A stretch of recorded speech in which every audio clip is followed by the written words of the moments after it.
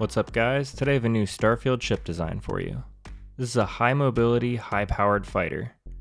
This ship is great in a fight and I was even able to solo all of the ships at the key with it to put it to the test.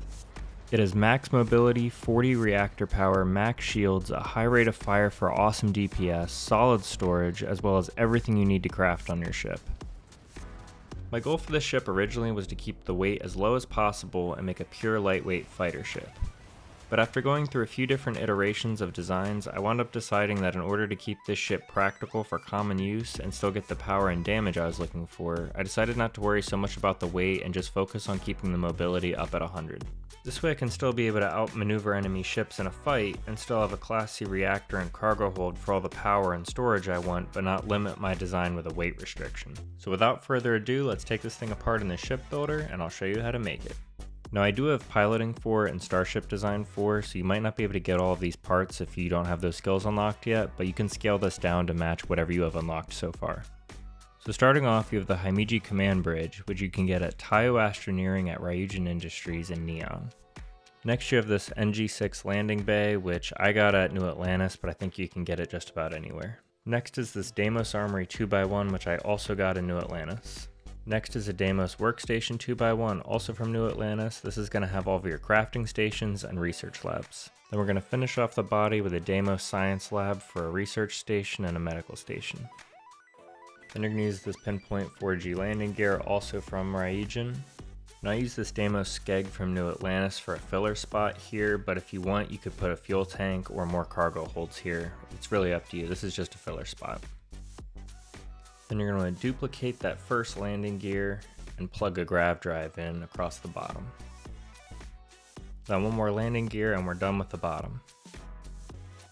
Now for the top part here, you can pretty much use whatever you want. I used this Deimos spine the whole way across the top. The only part of it that actually serves any real function though is the back part of the spine, which has two weapon mounts on either side, which I mounted these Class C alpha beams on.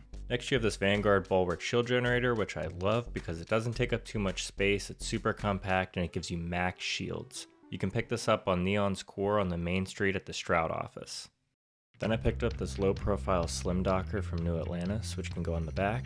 Next I used this Piloting 4 Starship Design 4 Sheared Flow Reactor that I believe I got in Aquila City. This reactor gives you 40 power, so you can keep all of your weapons, shields, and engines all the way up the whole time you're using it.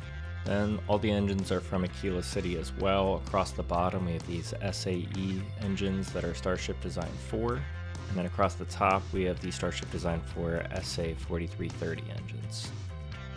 Now for the wings, we have this Deimos Wing A. You could swap this out for a different piece that has more weapon slots if you want, but I went with this wing, and on the bottom I have this Alpha Beam, and on the top I have the Vanguard Ares Particle Cannon. These are all from New Atlantis, but you're just going to duplicate that and do the exact same thing on the other side. Then we're going to build out the cool silhouette of the ship by grabbing the reverse versions of those wings and tucking them right behind. Now to build the back wings, you can get all these parts from Stroud store on the main street of Neon. You're going to start with the Stroud Engine Bracer A, and you have to go in a very particular order here. This goes onto the side of the grav drive. Now you're not actually going to be able to attach the second bracer straight on here. You're going to have to go in kind of a weird order.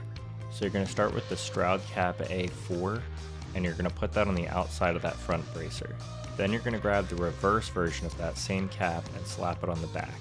Once you do that, you'll be able to put the other bracer right in between and attach it to the inside of the reverse version of the cap.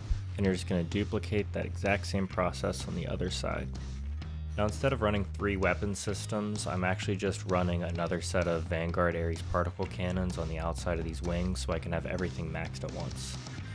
Then last but not least, we've got the fuel tanks and the cargo, which goes on the back slots here right in front of the engines.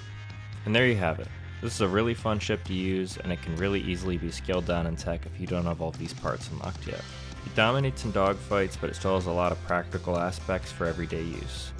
So let me know what you guys think of this ship in the comments, and let me know if you guys have any cool ideas for what I should make next. As always, thanks for watching.